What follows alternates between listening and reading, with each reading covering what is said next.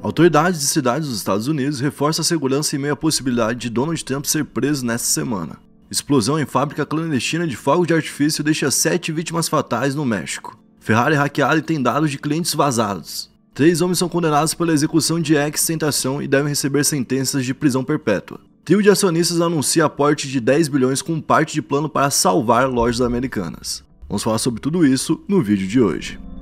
E aí pessoal, beleza? Meu nome é Bruno Fabio, esse daqui é o Planeta Novo e se você ainda não é inscrito no canal, vai se inscrever agora e deixar o seu like para ajudar a gente. No vídeo de hoje, a gente tem mais um absurdo da semana e hoje eu tô aqui com o Digo Black por trás das câmeras que vai me dar a meta de likes para esse vídeo de hoje. E aí, meu querido, como é que estamos? A meta de like hoje eu quero 16.120 likes. 16.120 likes e na quinta posição a gente vai falar sobre uma possível prisão do Donald Trump que pode acontecer inclusive no dia de hoje, né? No momento, Nova York, Washington, Atlanta e Los Angeles receberam receberam reforço policial por conta desse medo, que é uma notícia que foi dada inclusive na semana passada, que a gente já trouxe aqui no canal, certo? Quem trouxe essa notícia por primeiro foi a BBC, que alegou que um caso envolvendo Donald Trump num falso testemunho, agora estava vindo a público, e que hoje seria dada a ordem de prisão do Donald Trump. Por conta disso, por exemplo, em Nova York, todo mundo que participa ali do departamento de polícia foi convocado a trabalhar no dia de hoje. Inclusive, ao redor do Tribunal Criminal de Manhattan foram colocados ali grades de proteção para impedir que um possível protesto invada o local. Inclusive, esse tipo de proteção também foi colocado na Trump Tower, que é um prédio do Donald Trump que também vem recebendo alguns protestos ali na frente. Então, basicamente, no dia de hoje é esperado algum tipo de emissão de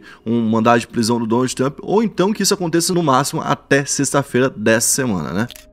Na quarta posição, a gente vai falar sobre uma explosão em uma fábrica clandestina de fogos de artifício lá no México que deixou 7 vítimas fatais e 15 pessoas feridas. Isso aconteceu em Totolapan, a 80 quilômetros da cidade do México, no estado de Morelos, né? Esse tipo de local é muito comum lá no México, inclusive eles utilizam bastante fogos de artifício em vários tipos de comemorações, é como se fosse algo é, comum até no final de semana. Aqui no Brasil a gente vê mais em um momento realmente especial, né? Lá é mais utilizado assim comumente. Por conta disso, existem várias pessoas que acabam fazendo clandestinamente em casa e o local que acabou pegando fogo ali fazia então essa fabricação clandestina e acabou resultando na morte de sete pessoas. Vale lembrar que no México a gente tem um número bem elevado de acidentes do tipo.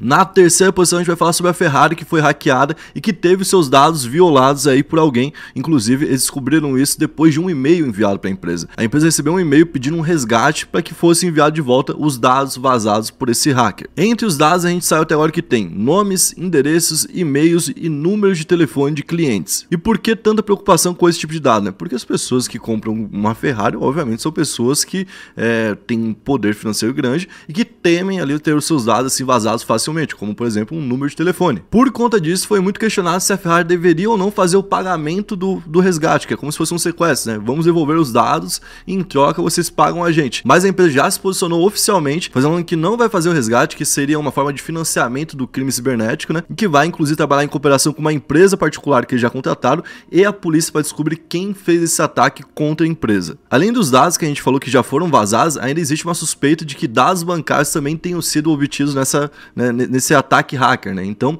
esse seria o principal medo da Ferrari. Por quê? Porque ela aumenta a aposta contra os hackers, certo? E se eles estiverem ali realmente, como se fosse, né, no, no truco seria o gato na mão, né? É. Se eles tiverem os dados bancários, que é o que, o que pode mais prejudicar os clientes da Ferrari, eles vão vazar isso e aí sim a Ferrari vai sair com uma péssima reputação desse caso, né?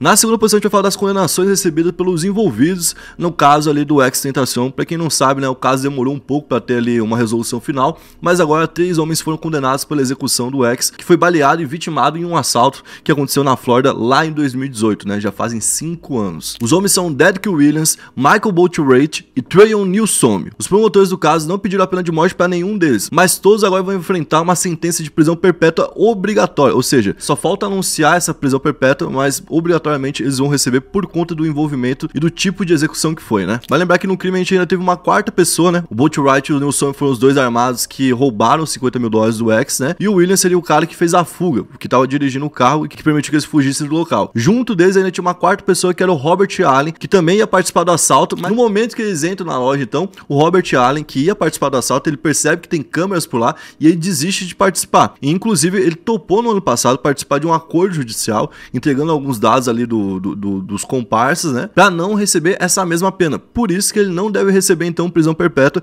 e ser o único que vai receber uma pena um pouco mais branda, por conta da cooperação dele. Vai lembrar que, inclusive, esse depoimento desse quarto e último envolvido, né? É muito importante para tirar, por exemplo, Drake, Migos e outras pessoas que eram apontadas como suspeitos ou até possíveis envolvidos no caso. É, isso é verdade. E pelo que tudo indica, no final das contas, a morte do X foi mais um acidente, mais um azar mesmo, né? Dele de ter encontrado pessoas que queriam fazer o assalto e que no momento ali, num total despreparo de estarem armados, né, acabaram atirando contra ele e tirando a vida dele sem nenhum tipo de chance de sobrevivência.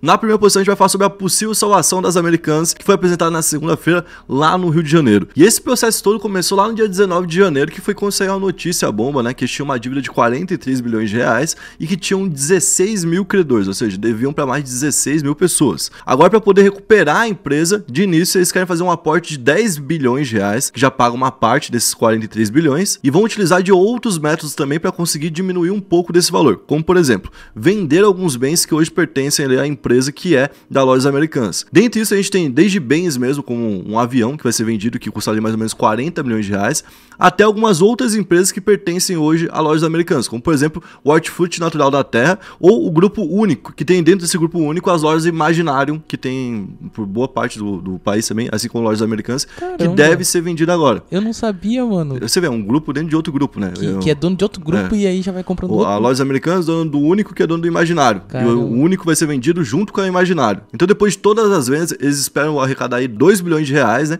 E poder reduzir um pouco mais a dívida. Vale lembrar que o aporte de 10 bilhões de reais vai ser feito ali pelos três principais acionistas e que são referências também no mercado, que muita gente, inclusive, criticou por que, que eles não fizeram isso antes, né? Salvar a empresa em vez de deixar ela falir, porque tinha muita gente dependendo dessa empresa e com é, dinheiro em ações da empresa, né? Até porque eles são bilionários e muito bilionários. O Jorge Paulo Lema, que tá por trás do é, Burger King, que tá por trás de, é, da, da própria Ambev, de várias empresas enormes, junto do Marcel Herman Teles e do Carlos Alberto Sicupira, fizeram esse aporte de 10 bilhões, que agora vai poder ser contestado pelos credores que são trabalhistas, ou seja, quem trabalhou para lojas americanas e tem que receber, microempreendedores, microempresas que têm algum, uh, alguma dívida ali em aberto com as lojas americanas e pequenos empresários de forma geral. Então, em até 30 dias depois que o aporte for feito, essas pessoas vão poder recuperar esse dinheiro e poder pegar uma parte da dívida hoje em aberto da lojas americanas. Para os outros credores que não quiserem fazer acordo e que quiserem receber, por exemplo, o valor integral do que tem para receber, mais os juros integralmente, mais tudo isso, é, os acordos que hoje estão sendo oferecidos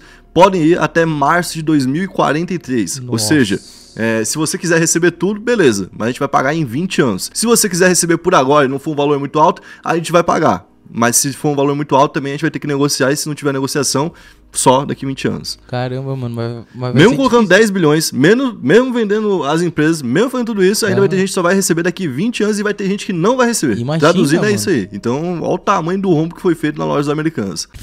Bom, esse foi o vídeo de hoje. Espero que vocês tenham gostado da forma como a gente abordou o tema. Se você curtiu, você vai deixar o seu like, se inscrever no canal e comentar aqui pra gente um tema que você quer ver aqui no Planeta Novo. Valeu, é nóis, tamo junto.